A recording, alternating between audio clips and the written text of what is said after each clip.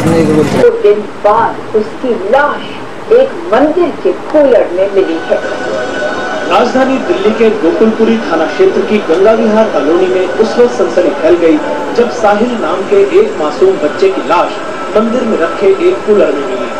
Police की माने तो साहिल की हत्या उसकी माँ के प्रेमी ने ही। की है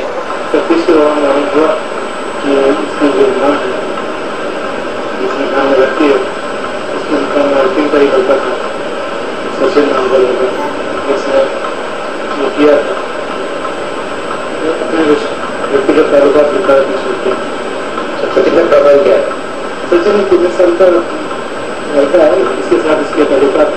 दरअसल पहली क्लास में पढ़ने वाला साहिल एक दिन स्कूल से घर लौटने के बाद घर के सामने बने मंदिर में खेलने की बात कहकर घर से निकल गया। लेकिन उसके बाद घर वापस नहीं लौटा। जिस पर काफ़ी तलाशने के बाद उसके परिजनों ने उसकी गुमशुदगी की रिपोर्ट दर्ज करवा दी। इसी बीच दो दिन बाद मंदिर की सफ़ाई के दौरान कुछ लोगों को अचानक बदबू आने लगी और जब उन्होंने एक कूलर को खोला तो उसके अंदर एक बच्चे की लाश देखकर उनके होश उड़ गए।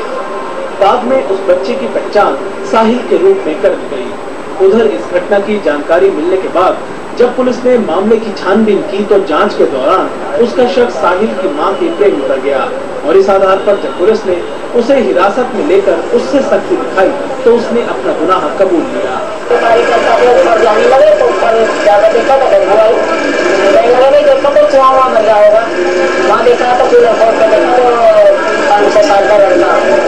एक बच्चे के कत्ल की घटना को सुलझाकर आरोपी को गिरफ़्तार करने के बाद अब पुलिस उसके खिलाफ कड़ी कार्रवाई की तैयारी कर रही है, ताकि उसे उसके गुनाहों की उचित सजा मिल सके।